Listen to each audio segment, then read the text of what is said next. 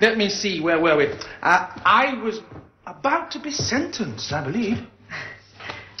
All charges against you are dismissed, Doctor.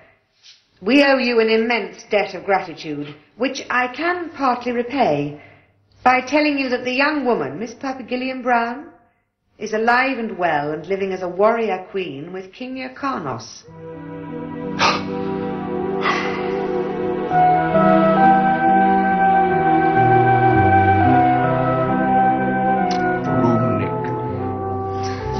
Once law and order have been restored, a new High Council will need to be elected. Can I persuade you to stand for Lord President again? Ah, I've a better idea. He's going to suggest you stand. Indeed I am. And were there such a thing as an intergalactic postal vote, you'd have mine. I shouldn't broadcast that if I were you. Oh, you could do me one small favour if you would. Simply name it.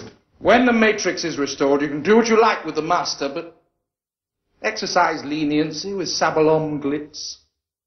He's not beyond redemption. Just don't let him anywhere near the crown jewels.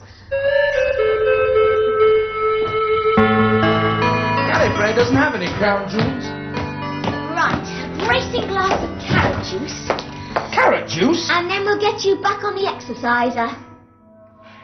You know, I think I was rash in turning down that offer of the presidency. Oh, carrot juice. Carrot juice, carrot juice, carrot juice. Prepare the Matrix Keeper. Requisition anything you need. My lady,